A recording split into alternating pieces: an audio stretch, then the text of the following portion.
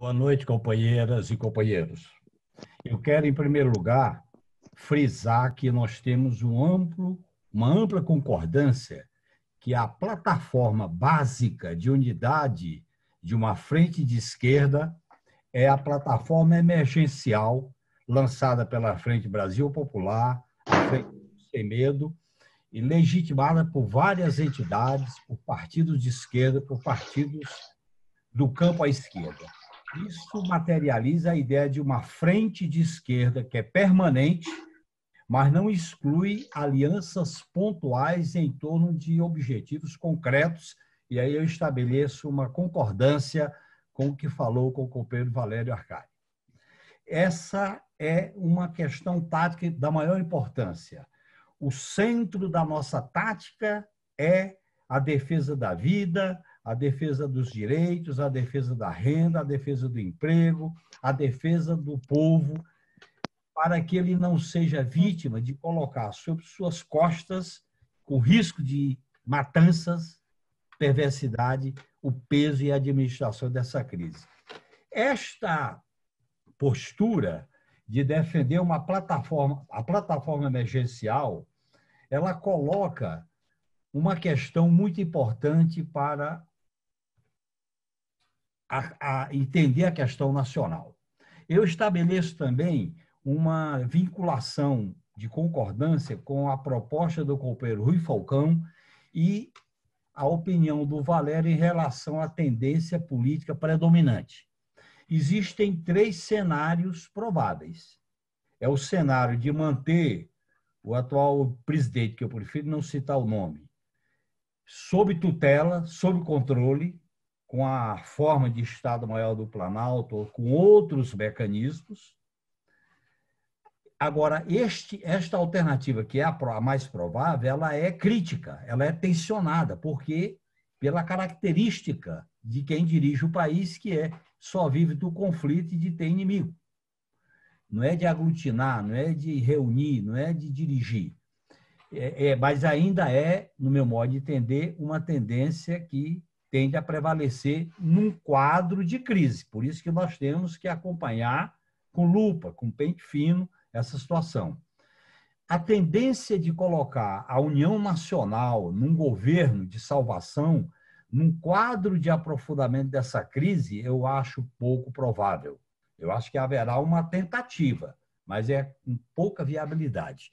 Nós temos que estar atentos a um outro movimento que brota das entranhas da concepção autoritária desse movimento da nova ordem, produto do golpe, é a ideia de, diante de um caos, justificar medidas de força. E, na história do Brasil, não, nós temos lições duras de que, quando tem uma crise, não é mais democracia como nós defendemos. Quando tem uma crise, é mais força, mais coação, mais dominação. Portanto, também não podemos descartar essa questão. Portanto, eu queria deixar claro que esta situação vai exigir dos partidos de esquerda, da frente de esquerda, um acompanhamento concreto, em que nós possamos é, trabalhar no plano institucional e no plano social numa defesa radical do povo, numa defesa radical dos direitos, da vida, da saúde, do emprego, da renda. E aí é fundamental esta plataforma que eu vou repetir, que foi um passo importante. Ah, eu queria destacar, acrescentando ao lado dessas minhas concordâncias, um terceiro elemento do quadro nacional.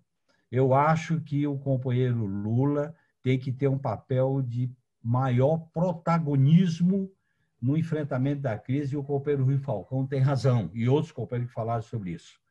Nós não podemos fazer a crise, não, não basta só fazer comentários, a crise não basta só fazer descrição, a crise não basta só exagerá-la, porque ela é já violenta por si mesma. Nós temos é que, diante dela, nos credenciar como defensores de uma saída. E a, a defesa dessa saída vai exigir força, vai exigir legitimidade, vai exigir liderança e nós temos que colocar o protagonismo da liderança do Lula como o líder da oposição, que era fundamental colocar isso como elemento da conjuntura no quadro nacional. Mas eu queria, para relacionar a minha intervenção agora com a parte da manhã, colocar uma questão mais de fundo. Tem um antropólogo francês que disse uma vez num texto que os pregadores do capitalismo, né, na sua organização neoliberal, que não é apenas uma política econômica, eu concordo inteiramente com o Breno, de que o capitalismo ele é eterno. O mundo pode se acabar com a catástrofe, mas o capitalismo não.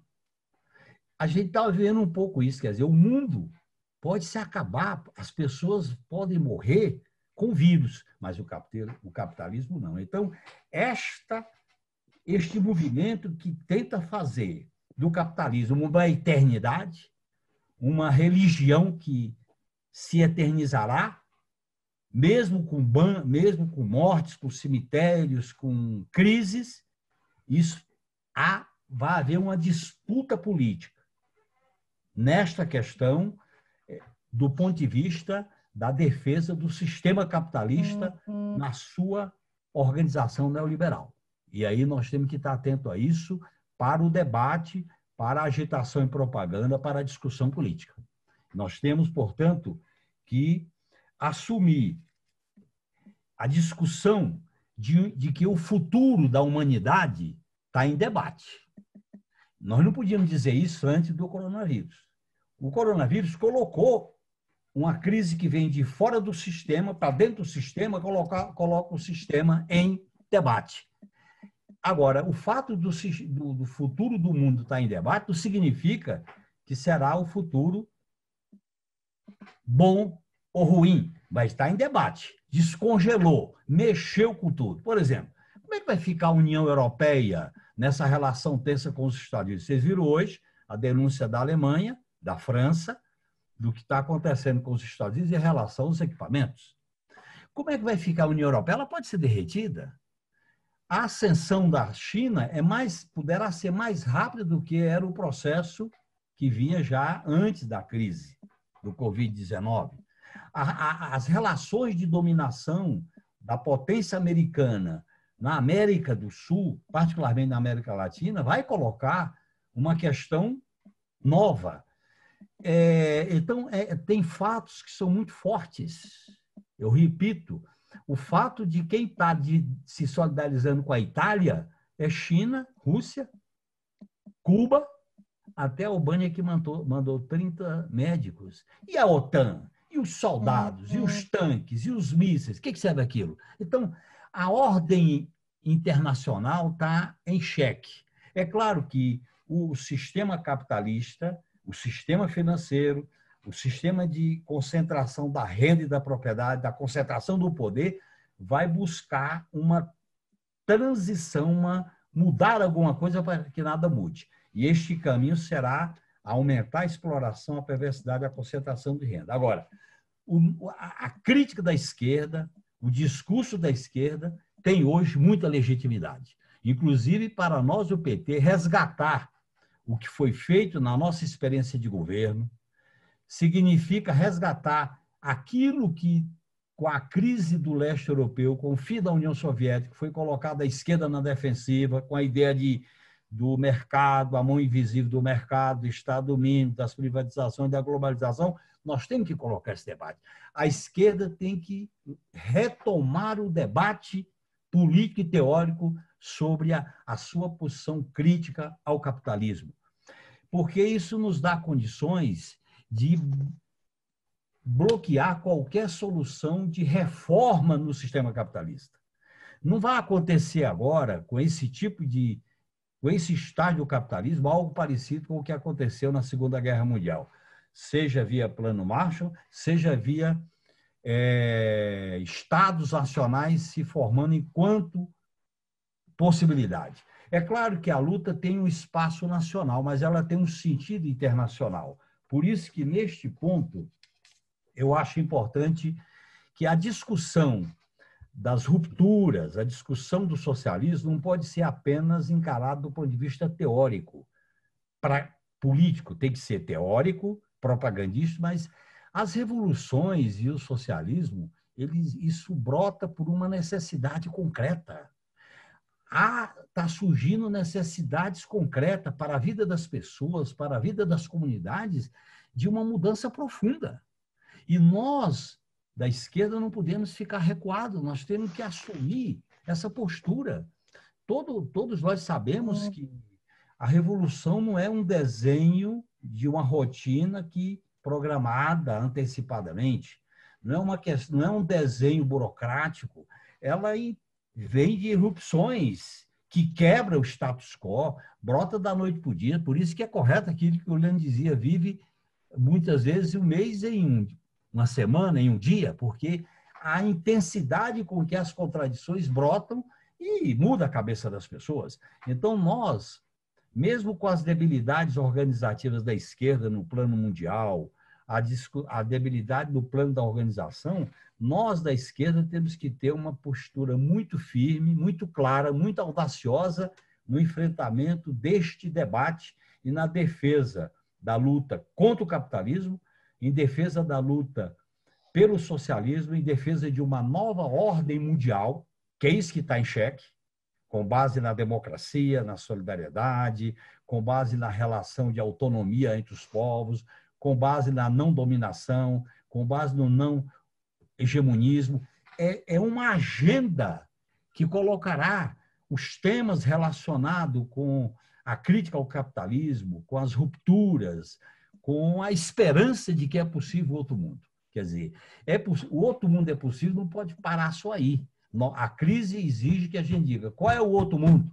É sem capitalismo, sem exploração, é um mundo do socialismo, da igualdade, da liberdade, da fraternidade, da solidariedade.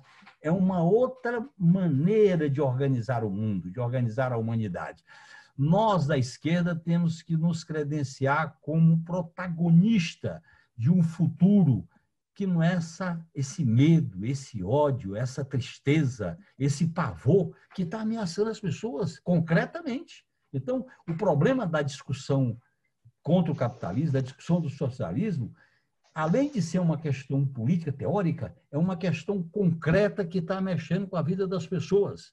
Esta ordem que foi hegemônica há 40 anos até agora, ela levou a esse desastre e ela não cabe à esquerda para fazer auto-reforma dentro dela. Nós temos que ser uma alternativa a esta ordem. E eu acho que a crise brota isso com muita força. É claro, nós temos que fazer isso, eu vou repetir, sem isolacionismo, sem doutrinalismo, sem é, sectarismo, e principalmente focando na questão tática central, que é a plataforma de defesa do povo, da vida, da saúde, dos direitos, do emprego, da renda.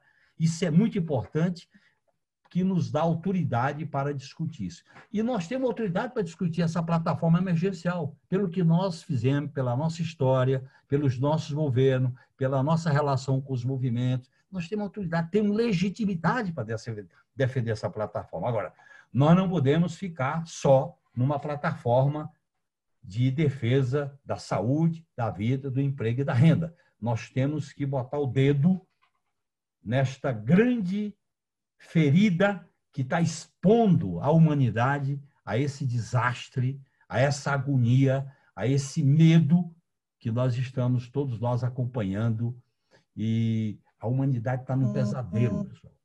E este pesadelo nós temos que bater na, nas consciências e acorda, tem saída, tem solução. Eu acho que nós temos que recuperar a capacidade da esquerda de ousar, elaborar e principalmente de criticar esta ordem que produziu e que está produzindo a falta de políticas para enfrentar o vírus.